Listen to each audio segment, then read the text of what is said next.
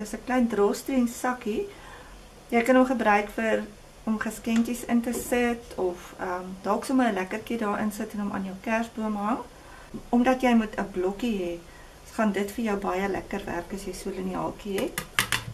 Dan het ons ook 'n uh, puntjiesker nodig. Ek gebruik die puntjiesker want dan rafel jou lappie nie so erg uit terwyl die sakkie gebruik word nie. Dan het ons 'n uh, botkin nodig dat jy jou wol kan deurryg.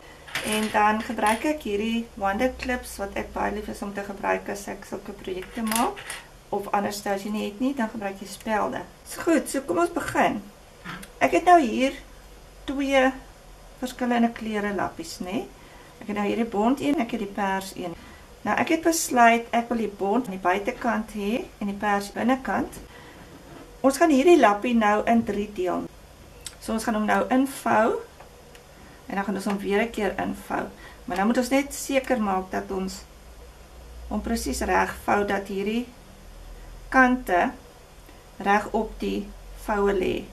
Nou gaan ek 'n knippie vat en hom hier in die middel insit, net om alles bymekaar te hou terwyl ons nou werk, dat dit niks wegskuif nie.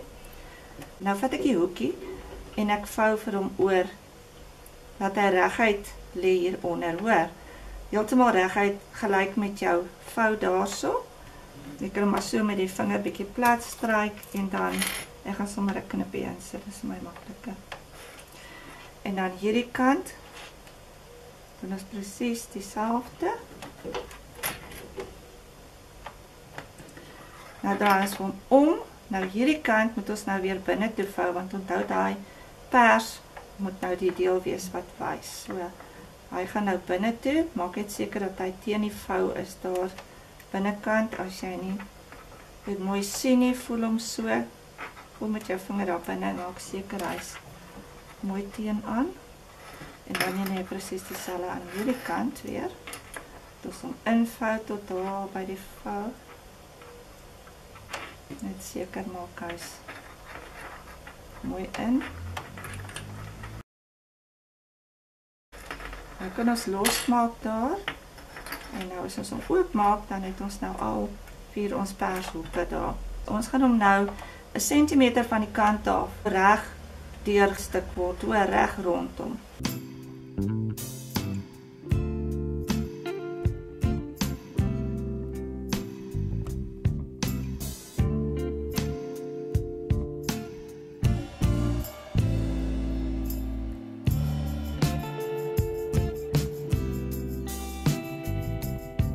Hierdie deeltjie is nou los, daar is hy nou reg rondom vas, so al jou lappies is nou mooi vas aan mekaar.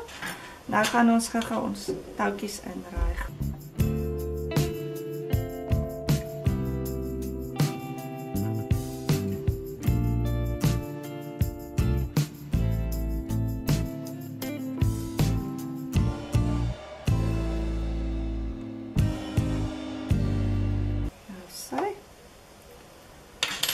Uithaal en aan hierdie kant 'n knoopie maak.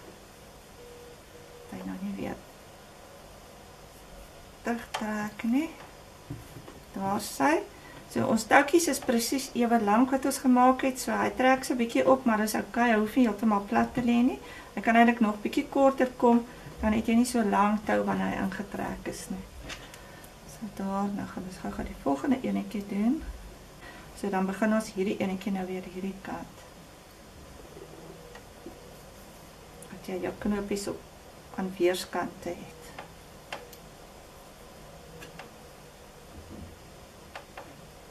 Dan net nie deur trek nie.